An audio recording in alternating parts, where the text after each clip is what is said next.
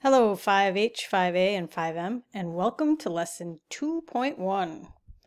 Our exit ticket preview is that we are going to be identifying two words with the prefix super or sur. In the video description there's a link to a printable chart, but if you're using a notebook, please set up your page as shown. Pause the video now to complete this step if you still need to do so. Remember that a prefix comes before a root word to change the meaning of that word. A suffix will come after a root word.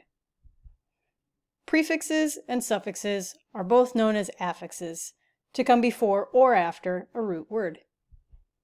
Today we'll talk about a new prefix. And our prefix of the day is super. Super means greater than normal, or it can mean placing something over or above something else. When you write in a Google Doc, you can move some text to be placed over or above some other text. This is called superscript. Here we see the words footnote and exponent. This is the normal text. But sometimes you need something written as a superscript, like when you make footnotes or exponents, and so it is placed over the other text. That's an example of superscript. Please pause the video to write what we know so far about the prefix super.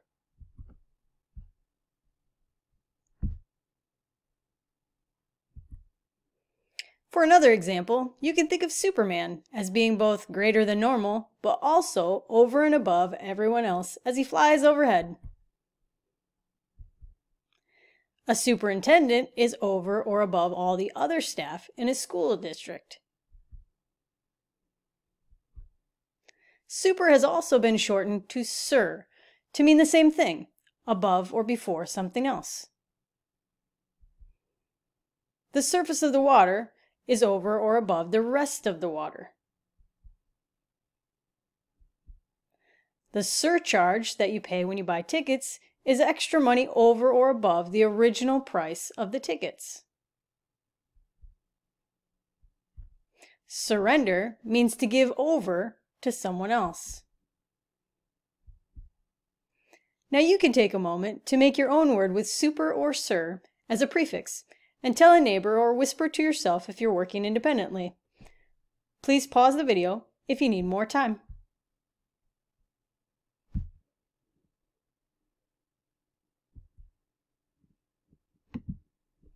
I hope you know that as your supervisor, it is no surprise that I think you are a superstar.